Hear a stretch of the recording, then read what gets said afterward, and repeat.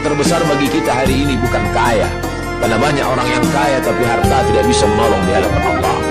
Nikmat terbesar bagi kita hari ini bukanlah jabatan.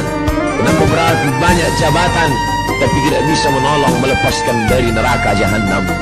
Kalaulah manusia itu mulia karena jabatan, maka Fir'aun jauh lebih mulia.